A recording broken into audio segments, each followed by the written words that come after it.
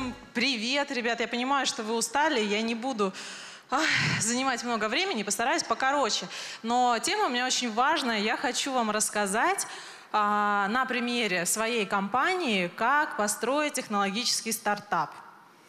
А где кликер? Простите.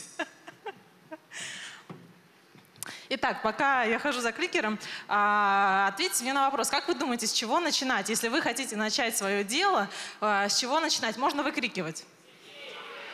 Ага, почти, почти единогласно все сказали, что с идеей. На самом деле, я считаю, что нужно начинать с проблемы. Да, и кто сегодня был утром тоже на моей а, панели, те, наверное, уже слышали.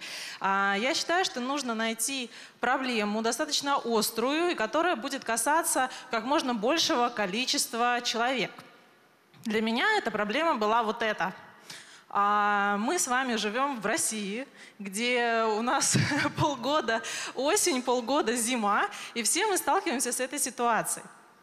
И э, как мы с ней вообще можем, что, что мы можем с ней сделать? Мы не можем заставить осадки да, и дождь э, не выпадать. Мы не можем заставить лужи не появляться. Что же мы можем сделать? В принципе, мы можем просто смириться да? и просто принять, что это наша Родина, и мы живем именно в таких условиях. А, и так было и со мной до того момента, пока я не встретила его. Вот его. Как видно по фото, это гениальный ученый. И этот ученый мне подсказал решение этой проблемы, и это следующий как бы, элемент вашего вот технологического стартапа, который вы хотите сделать, это э, придумать, не только определить проблему, но и придумать ее решение. И в нашем случае это решение основано на эффекте лотоса. Кто знает, что такое эффект лотоса? Поднимите руки. Классно, почти половина. А, но в двух словах, это а, эффект, он еще по-другому называется крайне низкой смачиваемости поверхности.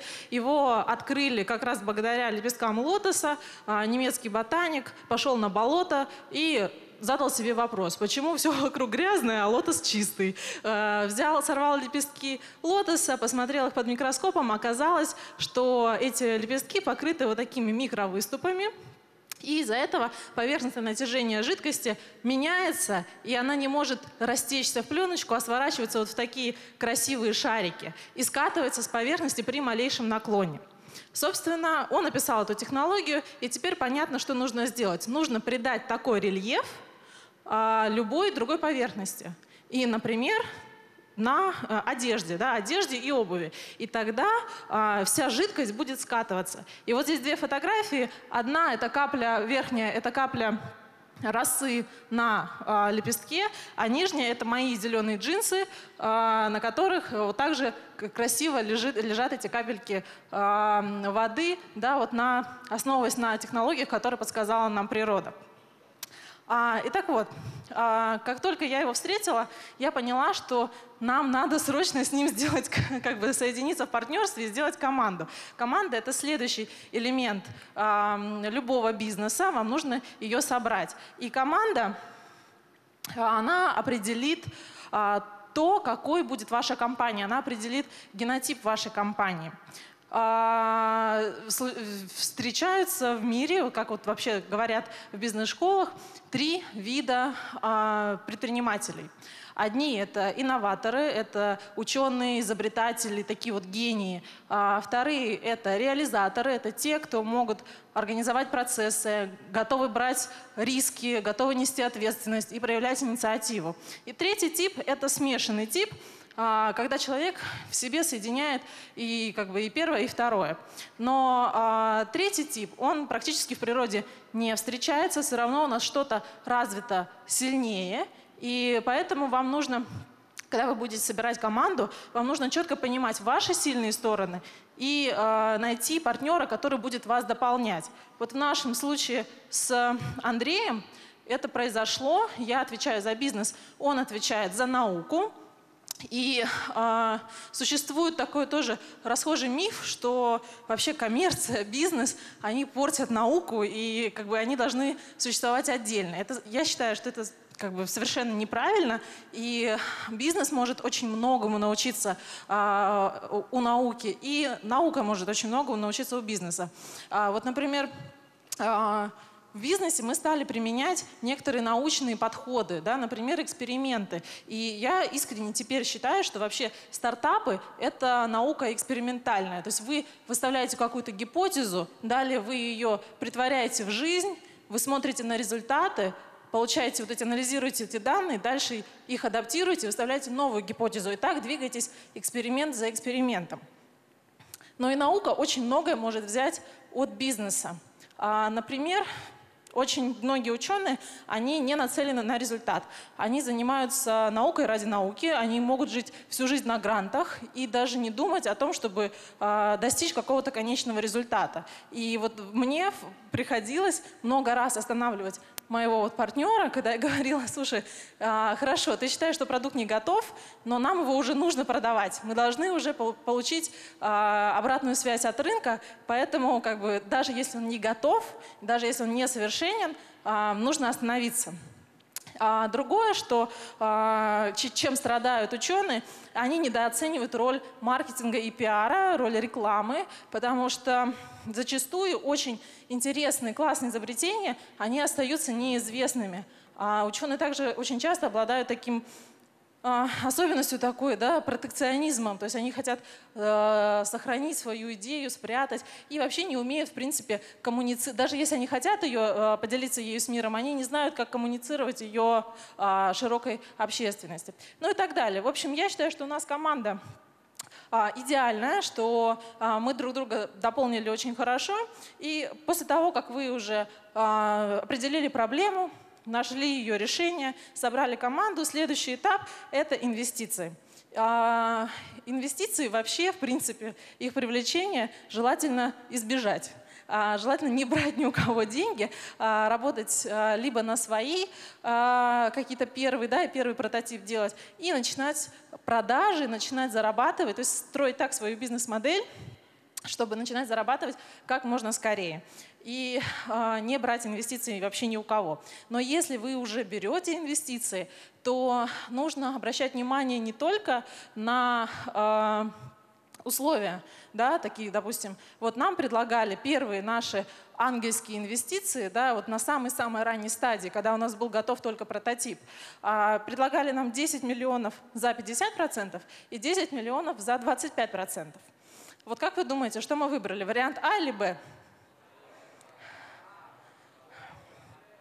Правильный вариант в нашем случае это вариант А. Хотя, казалось бы, это совершенно невыгодный вариант, а, потому что мы на самом первом этапе отдали 50% компании а, инвесторам. Но а, мы учитывали то, что, собственно, кто эти деньги давал. Обычно на таких стадиях дают деньги ангельские инвесторы. Да? Это инвесторы, это физические лица, по сути. И вы должны очень четко понимать, какие у вас с этими людьми будут отношения и как эти люди себя поведут в случае а, двух сценариев.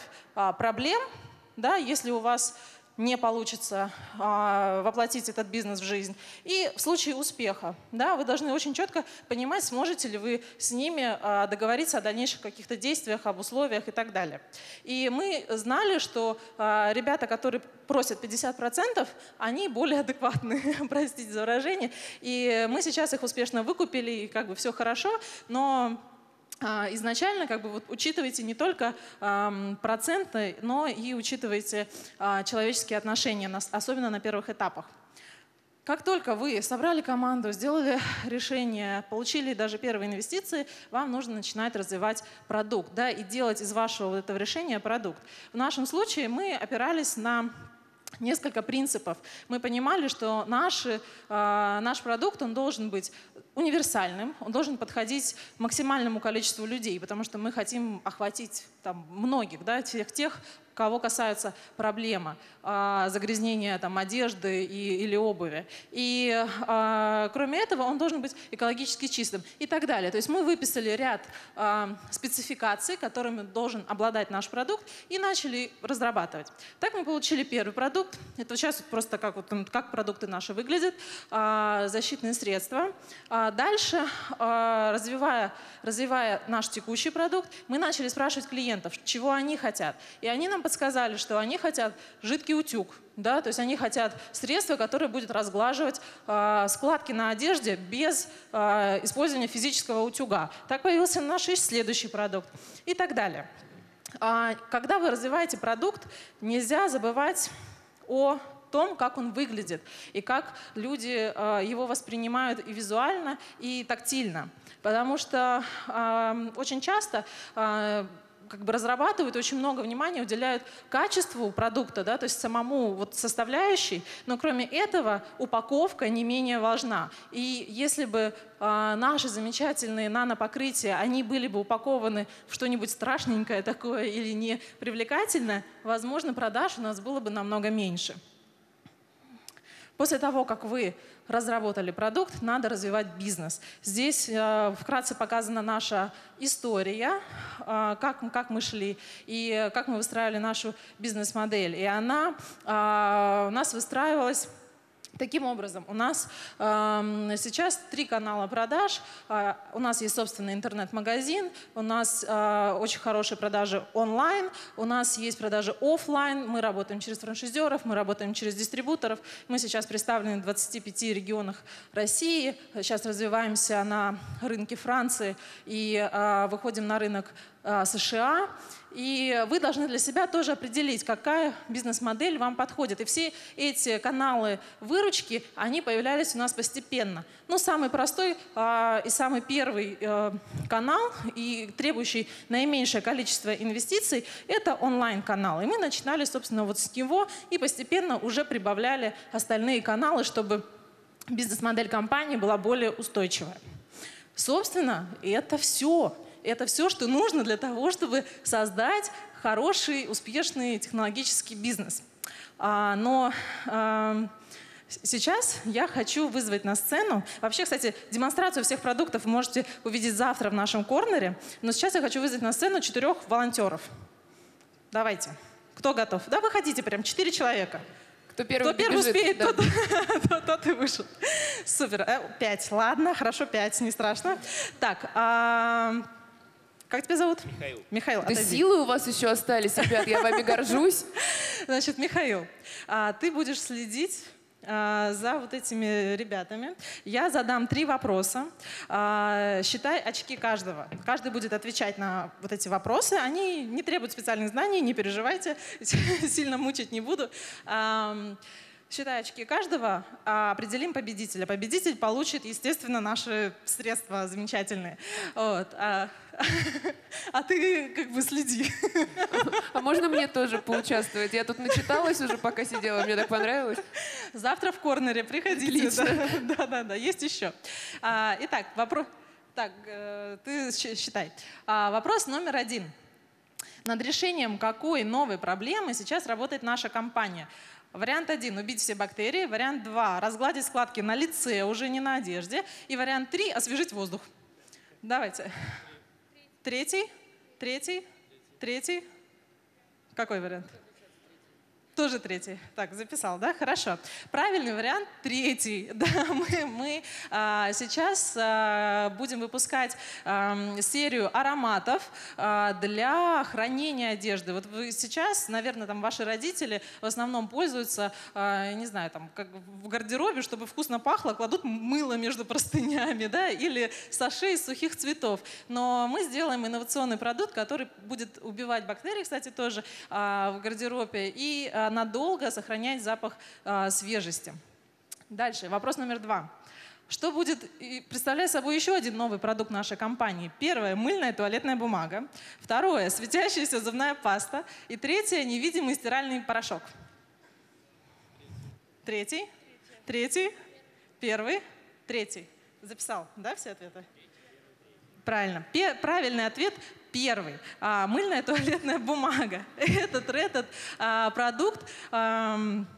Мы разрабатываем для рынка Индии. А вот э, сейчас предыдущий спикер говорил про Индию, там очень много людей, и там очень тепло, и моются они очень часто э, в реке, э, в реках. Э, для того, чтобы помыть голову или помыть себя, они используют такие одноразовые пакетики с шампунями. Но, собственно, когда они помоются, они эти пакетики выбрасывают прямо в реку. И сейчас в Индии очень большая проблема, то что сейчас все реки засорены просто просто вот этим фольгой, вот этими пакетиками а, мусора. А, что мы придумали? Мы придумали Точнее, это не мы придумали э, делать э, мыльную бумагу, э, придумали уже давно, но мы придумали, как ее сделать такой вот мерной, и чтобы она долго хранилась и мылилась хорошо. И тогда, когда кусочек бумаги вы отрываете, идете мыться в реку, простите, она просто растворяется, исчезает, и как бы никакого вот такого физического мусора не оставляет после себя. Ну и последний вопрос.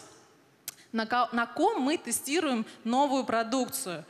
Вариант один на клиентах, вариант два на Владимире Владимировиче Путине, вариант три на школьниках. Первый. Третий. Первый. Второй.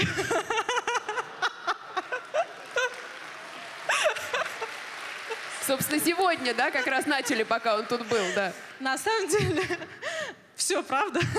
Вот. А на Путине, э, у Владимира Владимировича, у него есть футболка, обработанная нашим средством. Мы на нем не тестируем, но а, он обещал в ней заниматься спортом. Так что это тоже правда. Но на самом деле правильный ответ, конечно, на клиентах.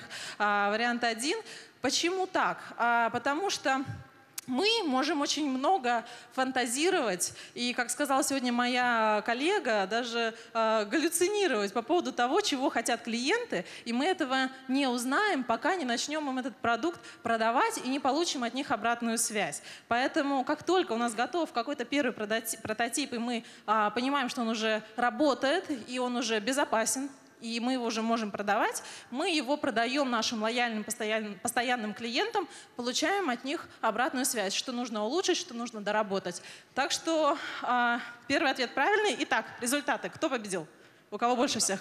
Анна. Анна, вам выдаем суперприз. Да-да-да, все.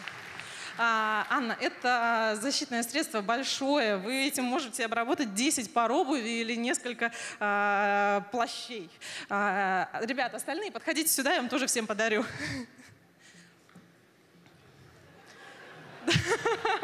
Как, как, как, как нашему, а, значит, а, человеку, который считал очки маленькое защитное средство, жидкий утюг. А, вам, а вам сухая чистящая пена. Ой, а вам что-то еще? Мы вам еще, у нас есть вот у меня ассистент, вот, вот, вот, все. Дарим вам тоже защитное средство. Спасибо большое. Все. А, ребята, стойте. Суперприз. Еще будет суперприз, но уже завтра. Тому, кто сможет назвать теперь все компоненты а, технологического стартапа. Что нужно? Кто? кто? Что я рассказывала сейчас? А, для того, чтобы создать технологичный стартап, первым делом нужно определить проблему, которую нам нужно исследовать. Вторым этапом нам нужно, нужно определить решение для того, чтобы понять, как именно, какая именно у нас будет стратегия в решении стартапа. Третий момент — это собрать команду, потому что без команды стартап быть не может. И четвертый этап Четвертый этап очень важен, я считаю. Потом... Блин, четвертый этап. Так, команда. Э, начать действовать? А, продажи. Это же, конечно, инвестиции. Конечно. А все, больше ничего не было? Нет. Было? Конечно. Давай дальше. Реклама еще важна. Дальше нужно разработать продукт и разработать бизнес-модель. Да, все. Молодцы, ребята. Хорошо, приходите к нам в корнер. Почти все ответили. Сделаем еще один приз. Все, спасибо, ребят. Спасибо. спасибо да.